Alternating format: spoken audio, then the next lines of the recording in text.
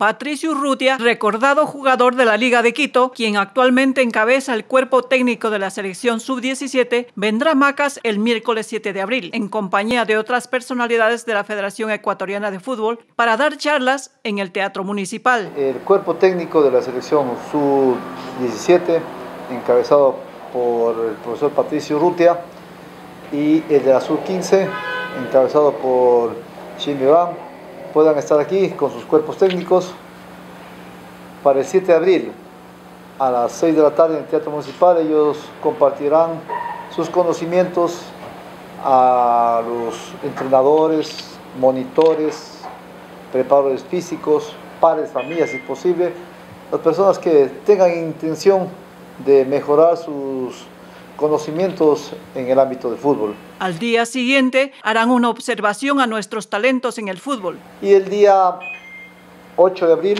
en el Estadio Tito Navarrete, a las 9 de la mañana, vamos a tener la observación, bueno, scouting lo dicen, pero yo me gusta hablar en, nuestro idioma, que es observación de jugadores.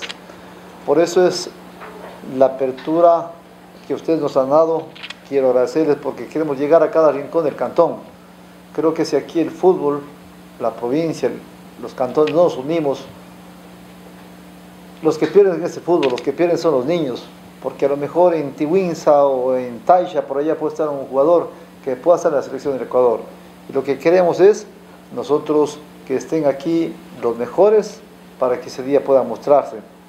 Eh, el día jueves, a partir de las 9 de la mañana, tendremos una reunión eh, por Zoom con los entrenadores tanto de las escuelas de fútbol de los municipios, del gobierno provincial, las ligas cantonales, las escuelas privadas, para de ahí buscar a través de eh, Federación Deportiva de Morón Santiago, también hay que agradecer a su presidenta, y de manera especial al cuerpo técnico, al profe Francis Pacho, quien va a encabezar este escogitamiento para que el día eh, jueves 8 de abril los cuerpos técnicos, tanto la sub-15 como la sub-17, puedan ver a los mejores jugadores de nuestra provincia, no de Macas, no de la federación, no de un municipio, no de una escuela, sino de todos, sí, que en estos días previos se haga una preselección, digamos.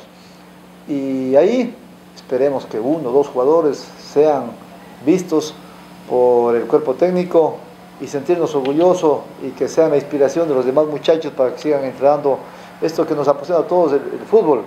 Entonces, vuelvo y repito, el día 7 de abril en el Teatro Municipal, la capacitación que para nosotros es muy importante. En el tiempo que hemos estado nosotros, hemos hecho capacitaciones para ir mejorando el fútbol aquí en nuestro cantón.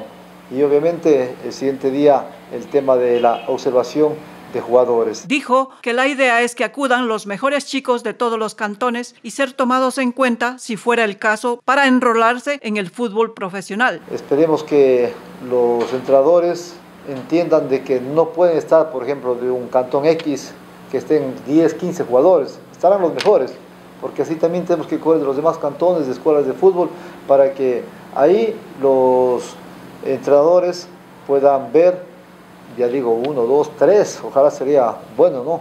Porque esto también lo están haciendo en otras provincias del país. Esta es la oportunidad para los muchachos de alto nivel para que se pongan a prueba.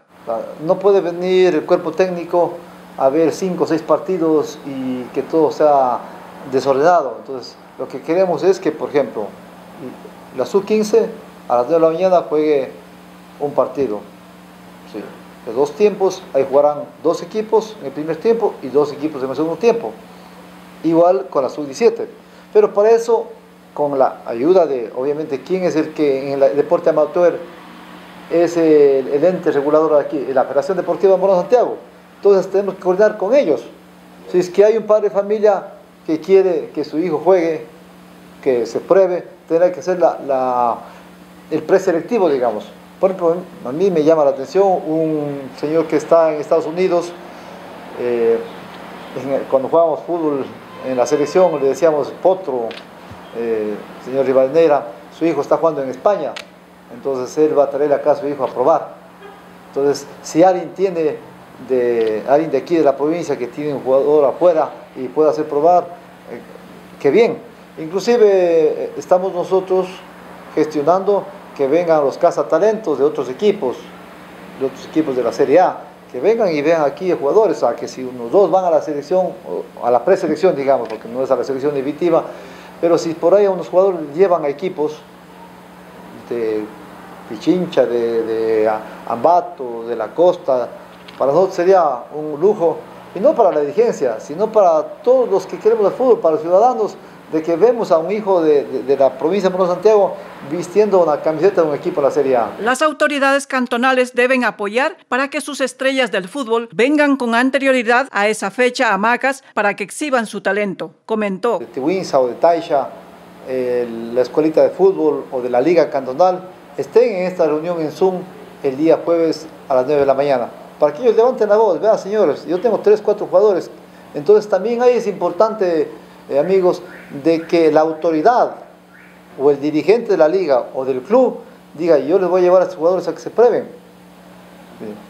Por eso es importante el apoyo, porque hay muchos jugadores que a veces no tienen y se quedan ahí porque no tienen para el pasaje.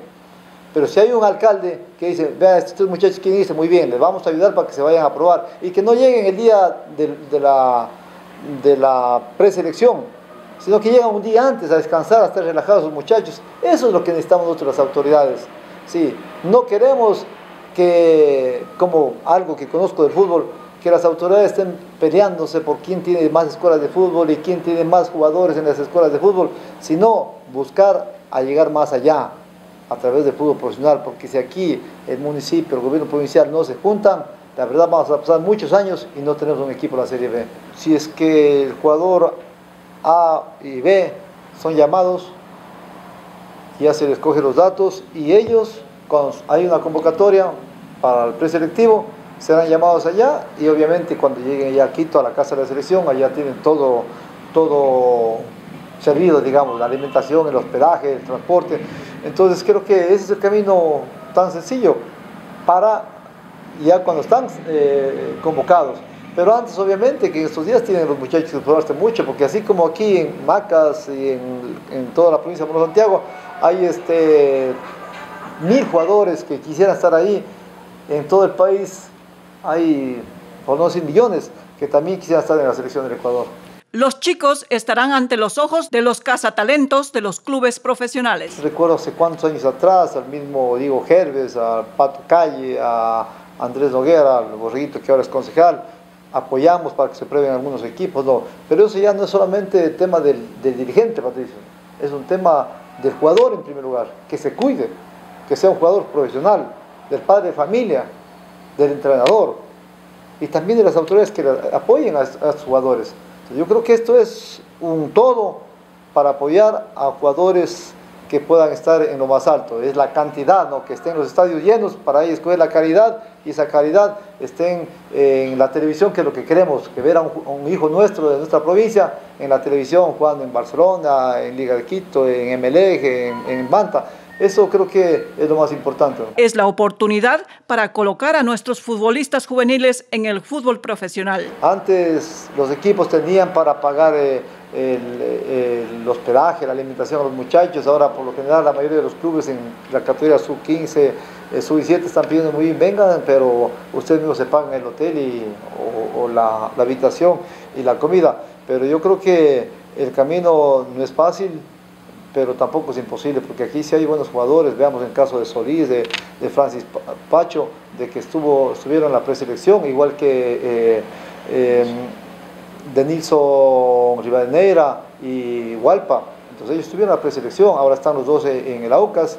Estamos también buscando la alternativa de que ya como descendió el, Nacional donde estaba jugando eh, Solís, Marco Solís y Francis Pacho, ahora buscar un equipo y obviamente que va a ser importante el 8 de abril donde ellos van a poder mostrarse y si vienen Casa Talentos, por ejemplo, del Cuenca, de Macará, del técnico universitario de Muchuruna, a ver a esos jugadores sería lo más importante. Algo que es bueno resaltar es que lo que está haciendo la, la, federación de recorrer la provincia, ese sería el trabajo de los clubes. Los clubes deberían estar andando recorriendo, haciendo el scouting, como lo dicen, y sacando los jugadores para los clubes. En este caso es al revés, la, Federación Ecuatoriana de Fútbol está haciendo este recorrido con los eh, cuerpos técnicos. Tener aquí a Pato Rutia, a Cristian Mora, que fue mundialista. Sandra Marlene González, Exprésate Morona, Santiago.